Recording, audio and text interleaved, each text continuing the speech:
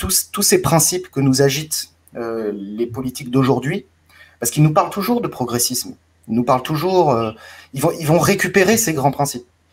Mais en fait, ils les ont dénaturés, parce que ce sont des bourgeois. Parce qu'en fait, tous ces grands principes ne viennent pas de la bourgeoisie. Ils viennent justement euh, de cette tentative d'émancipation qu'il y a eu au 19e, au 20e siècle. Et tout ça, c'est des, c'est des, des, pensées de, de, prolos qui se sont mis à philosopher et qui ont imposé, qu'on imposé une, une, philosophie, une pensée. Et la bourgeoisie les a récupérés, les a vidés de leur, de leur substance. Ça, c'est dramatique. Donc, ils, ils, ils, agitent des, ils agitent des concepts qui sont d'une importance absolue.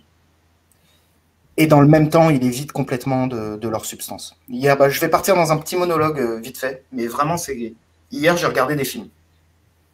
J'en ai regardé deux. J'ai regardé un film qui date de soit fin des années 80, début des années 90, et un film euh, là actuel de 2010.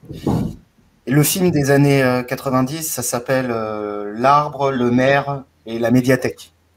C'est un film avec euh, Lucchini, Ariel Dombal et un autre acteur dont j'ai oublié le nom, enfin un formidable acteur français. C'était incroyable le niveau de, qualité des dialogues d'idées qu'il y avait euh, à l'intérieur du film. C'est pas un film qui se voulait euh, pédant, c'est un film. Euh, c'est pas un film pédant, c'est pas un film dur à comprendre, et c'était d'une qualité absolument extraordinaire. Et si tu veux, ce, progressiste qui a été notre idéal, il transpire de ce film. C'est vraiment incroyable le, niveau de conscience, auquel on est monté dans ces années-là. Et c'était la fin, en fait, c'était le crépuscule, mais on est monté très haut. Et 2010, euh, c'est un film, alors là c'est Rome 35, c'est un film qu'avec des noirs, réalisé par une blanche qui apparemment est fascinée par les noirs. Euh, euh les dialogues sont nuls à chier, il n'y a aucune histoire, mais euh, tout est dit avec une intensité feinte, absolument nulle à chier. C'est misérabiliste. Et là, tu vois qu'il y a eu, il y a quelque chose qui s'est passé. Il y a quelque chose de dramatique qui s'est passé. C'est qu'on a on a abandonné nos idéaux sur l'autel d'un cynisme marchand absolu, euh, d'un mépris euh, populaire absolu. Et euh, si vous voulez, c'est ça le grand drame. Si vous voulez, ça sert à rien de s'énerver sur, sur du vaccin. Parce qu'on nous a, on nous a volé notre, on, on nous a volé ce qu'aurait dû être une vie formidable en fait. Et ça nous a été volé par par des bourgeois d'un cynisme absolu. Quoi. Et c'est ça le, drame de notre époque. Ça me fait penser à ce que m'avait dit euh, Pierre Dortiguier. Il me disait que le drame, c'était que quand il y a eu euh, mai 68, tous les gars, euh, les idéologues de mai 68, c'était des gars qui avaient été dans des grandes écoles et qui avaient encore une culture classique à l'ancienne, qui savaient, même des gars comme Cohn-Bendit, tout ça, ils savent parler le grec, ils ont une culture historique énorme et tout et ils ont dit à leurs élèves ni Dieu ni maître, fais ce qu'il te plaît, alors qu'eux, ils avaient quand même reçu l'éducation classique. Et pour Dortiguier, toutes les révolutions, c'est un peu une génération qui ne passe pas le relais à l'autre. Tu vois, c'est très involutionniste. Et, il le disait aussi, par exemple, pour Voltaire ou ceux qu'on appelle les Lumières. En gros, ils avaient une culture classique. Un gars comme Voltaire a été formé chez les Jésuites et tout. Il avait une grande culture classique mais à son lectorat, il leur dit euh, tout, pétez tout, mais euh, après tu te retrouves avec des gens qui n'ont plus ces bases euh, là. En fait, il n'y a pas eu de transmission justement, de tradition euh, dans le sens premier du terme.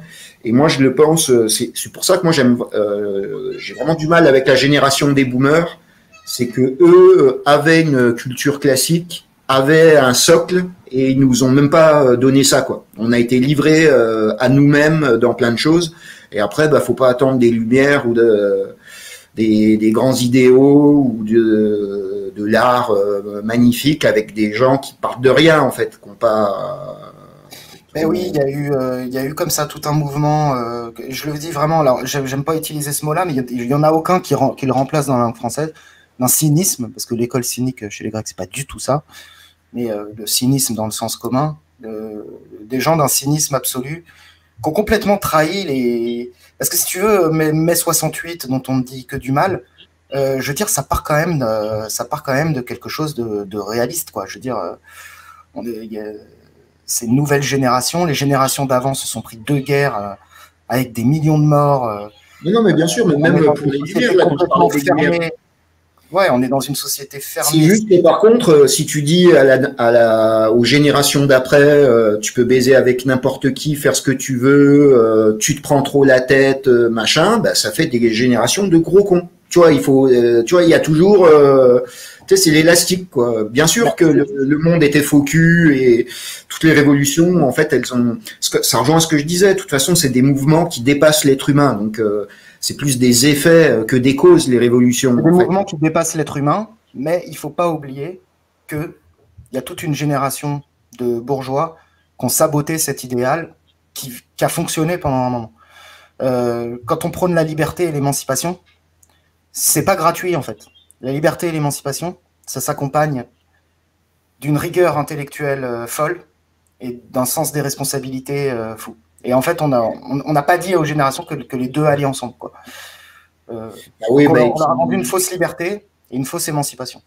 Voilà, parce que c'est vraiment, moi je pense vraiment un problème, c'est euh, entre la, la, génération qui a fait mai 68 et euh, notre génération, je sais pas, par exemple, on doit avoir peut-être, je sais pas, 3000 mots de vocabulaire en moins. Donc t'es pas libre en fait.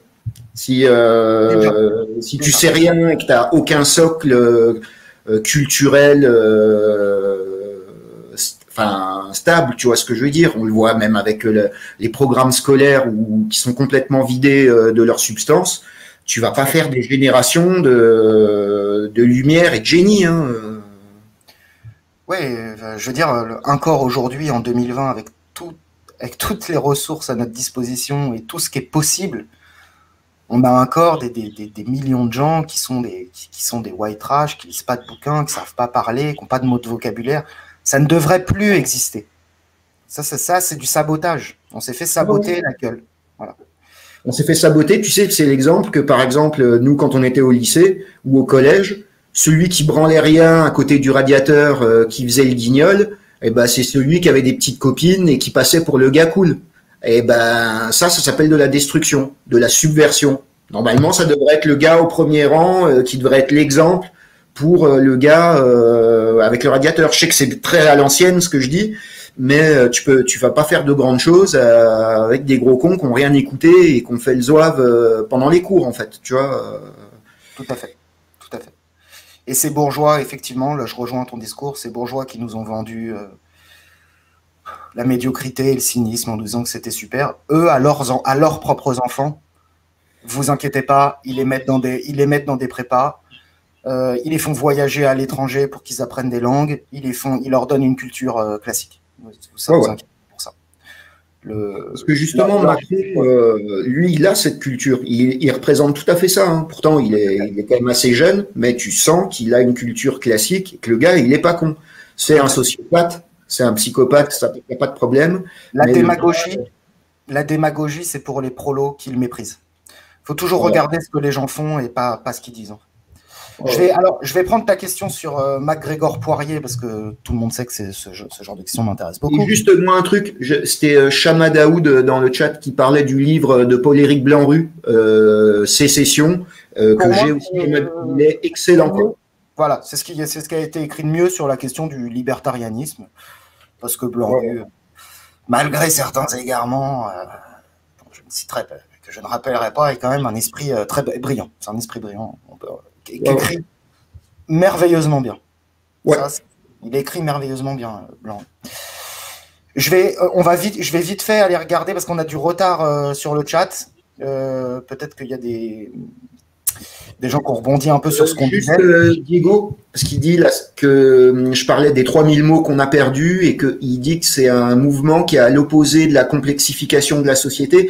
Non, non, c'est justement parce que les gens sont de moins en moins complexes que ça devient presque des, des, numéros, quoi. C'est des estomacs euh, prolongés par un sexe que c'est le hum, comment on va dire les, les infrastructures, les, structures sociétales, euh, administratives qui se complexifient mais les gens, ils sont de plus en plus simples, voire euh, simplets, quoi. Oui, oui. C'est-à-dire que bon, alors après on va, on va arrêter. Mais non, non, mais c'est juste pour dire, par exemple, aujourd'hui, on a la complexification, par exemple, des médias. Il y a 50 000 chaînes d'infos 24 heures sur 24. Donc on a une on a une complexification des chaînes d'information et on a une simplification du discours. Tu écoutes même les médias au début des années 90, c'était à un autre niveau quoi. Donc euh, totalement. Ou genre on a, une, on a, une, multiplication de l'offre de, de, contenu de divertissement avec des plateformes comme Netflix, etc. Mais 90% de ce que propose Netflix, je dis pas tout parce qu'il y a des trucs qui sont sympas des fois, mais c'est une, c'est vraiment de la, de la bouillie pour débiles mentaux. Et les gens qui font ça n'ont pas de respect pour. Euh, ils produisent des choses sans respect pour les, le public pour lequel ils le produisent. Quoi. Et ça, c'est quelque chose qui me dérange énormément. Il, faut respecter euh, les gens pour qui on produit des choses, en toutes choses. Euh, que vous produisiez de la nourriture, que vous produisiez de la culture, que vous produisiez du divertissement, que vous produisez même même dans les domaines les plus triviaux qui soient, il faut toujours qu'il y ait cette pensée de, vouloir faire les choses bien et de vouloir euh, élever les gens et de vouloir respecter les gens. S'il n'y a plus ça, il n'y a plus rien. Alors, vite fait, vite fait, je fais un, petit tour sur le chat pour voir si on n'a pas loupé euh, des trucs énormes et on revient sur MacGregor Poirier. Il y a plein de discours dans lesquels Macron est en transe hypnotique lourde. Ouais, ouais, grave, grave. Macron un maître illusionniste? Oui, pour moi, oui, vraiment. Vraiment, vraiment. Euh, il est très fort. On dit toujours euh, Mélenchon est, un tribun extraordinaire. Mélenchon, c'est la, troisième république, c'est de la merde. Macron, c'est le futur. C'est le futur. Je travaille dans une très grosse entreprise française et le problème, c'est que les hauts cadres donnent tout en se croyant indispensables, mais les mecs sont remplaçables facilement. Absolument, absolument. Il suffit de trouver un nouveau là. On, les, presse jusqu'au burn-out. Hein. Personne ne, leur sera jamais reconnaissant. Hein. Alors, il y a, peut-être qu'ils touchent des gros salaires à 10 000, 15 000 euros par mois, mais si on allait voir, on verrait que tous ces gens-là ne sont pas heureux. Ils sont très malheureux. Très, très malheureux avec leur. Ils ont une Breitling au poignet, une belle voiture, une femme euh, chiante qui leur coûte une fortune, et ils sont très malheureux. Je remarque depuis Macron une transformation progressive de certaines professions où on avait une certaine autonomie et, là, ils se mettent à obéir à des ordres administratifs, du coup, ils s'ennuient. Possible, mais de toute façon, enfin, dans les concours administratifs, on, sélectionne des profils. Et euh, si tu veux, tu, vois tout de suite dans les administrations les vieux, ceux qu'on appelle les boomers, mais qui en fait euh, vont sortir peu à peu là, du monde du travail dans les dix prochaines années, il va plus y en avoir. Et on va voir que ces gens, ils vont nous manquer. Parce que les nouveaux euh, qui passent le, qui passent le, cap des concours administratifs euh, catégorie A et qui vont être amenés à, avoir les postes sont incroyablement des larbins dans leur tête. C'est vraiment incroyable. Alors qu'on avait quand même une génération de gens qui étaient beaucoup plus libres, beaucoup plus grande gueule, qui tenaient à leur indépendance, qui faisaient valoir leurs droits. Tous ces gens-là sont en train de disparaître des, des entreprises, je le vois, ils partent tous à la retraite. Euh, ouais, euh, Sébastien, là, c'est dans les derniers commentaires, il dit le, le, public aime bien regarder de la merde, Ralph. Sinon, Netflix ne ferait pas de série. Non, non. Le, le peuple, franchement, euh, c'est une masse. C'est comme de la pâte à modeler et c'est comme un enfant, en fait, le, le peuple. Et euh, ton gamin, par exemple, tu vas, je sais pas, pour, tu vas essayer de lui donner des choses variées à manger et bonnes pour sa santé et pas lui faire manger trop de sucreries. Et là, le système, c'est comme s'il disait à ton, à, un gamin, euh, vas-y, t'aimes bien les bonbons, bah tu vas manger que des bonbons. Et le gamin, il va manger que des bonbons, euh, il va être content, hein, le gamin. C'est une question de bienveillance élémentaire. Voilà, au lieu d'élever on parle d'élever un enfant, bah là tu le, tu le rabaisses. C'est comme si ton gamin, tu lui disais, mais non, non, non, lis aucun livre, regarde que des trucs de merde abrutissants, euh, des trucs violents et euh, bouffe que du McDo et des, des carambars, quoi. Bah, l'enfant, il va adorer le gamin, le, le, gamin, il le fait, quoi. Et eh ben, il sera très content. Il adorera bouffer que du McDo. Il sera très content, quoi. effectivement, c'est l'exemple est très bon et très bien choisi parce qu'en fait, euh, la politique, c'est, si tu veux, c'est le c'est le monde domestique élevé, au, élargi, quoi, en fait. Donc, c'est tout procède exactement de la même logique. Et j'ai toujours entendu cette phrase, euh, genre, ah, mais oui, mais si on faisait pas de la. C'est parce que c'est de la merde que les gens regardent et tout. C'est faux. C'est faux.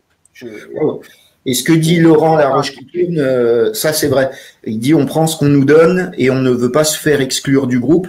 Mais euh, je crois que c'est le sentiment le plus fort chez l'être humain. Euh, une majorité de gens, je pense, préfèrent se suicider ou faire des choses contre leur propre intérêt individuel pour ne pas être risqué d'être exclu du groupe. Ouais, euh, Tigex Coldis, le prolétaire est un bourgeois qui n'a pas réussi, rien de plus, rien de moins. Citation de Louis-Ferdinand Céline, et il met euh, la citation entière vaut le coup, et ouais, ouais, t'inquiète. Je suis pas, enfin, en fait, je suis d'accord avec ça, et je suis d'accord à moitié.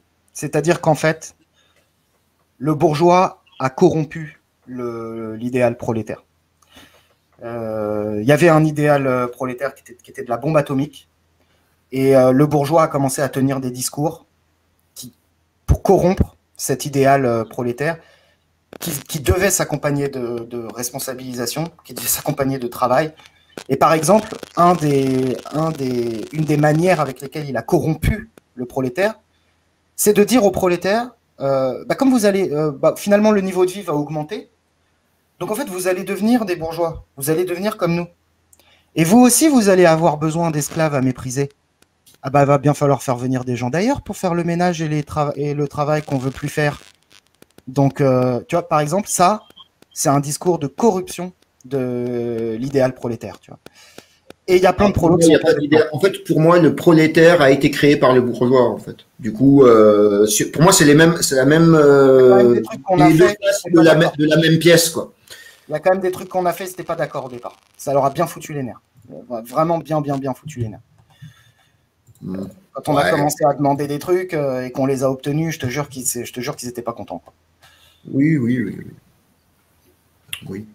Ils ont corrompu le truc. Alors après, j'entends tout à fait la citation de Céline qui dit que euh, le, y a plein de prolétaires qui n'ont qu'une envie, c'est de devenir des bourgeois. C'est la réalité. Et ça, c'est ce que j'appelle euh, les prolos susbites, tu vois, que je déteste. C'est, un cancer, les prolos susbites. Un vrai cancer. Je pense comme Nemad, il dit euh, le prolétariat n'est qu'une invention de la bourgeoisie, en fait. Euh, Moi, je crois qu'il y a une corruption du, de l'idéal prolétaire et qu'il y a plein de prolétaires susbites dans l'âme parce que les prolétaires n'ont pas toutes les vertus. Ça, c'est une connerie. C'est des gens qui n'ont jamais traîné avec des pauvres qui pensent ça. C'est les, communistes qui pensent ça. Mais il y a des bons gros traîtres euh, chez nous. Des, énormes. Les pires de tous. Bah, des d'ailleurs. je vois qu'il y a des gens qui sont d'accord avec toi, mais ouais, ouais, c'est vrai. Euh, Bardam, les cathos nous ont enlevé l'amour qu'on avait des sublimes forces qui émanaient des chênes et des champignons pour une morale de merde. D'exotériste, littéraliste. Non, non, mais je vois quand même. Il y a un peu de vrai. Hein, il y a un peu de vrai. Moi, je. il y a beaucoup de vrai. Il y a beaucoup de vrai. Il y a, quand même beaucoup de vrai. Oui, oui, oui. Non, non, j'avoue, j'avoue. Et l'hétérophobie, genre euh, pas le droit de niquer le dimanche, pas le droit de niquer le mercredi, pas le droit de niquer pendant les règles, pas le droit de pas le droit d'enculer, pas le droit de se branler, pas le, pas le droit de prendre du plaisir avec sa propre femme, euh, ce, qui est, considéré comme l'adultère. Ça, c'est dans saint Thomas d'Aquin, hein, les gars. Hein. C'est euh, le, le truc de PD refoulé, mais, mais puissance 20 000.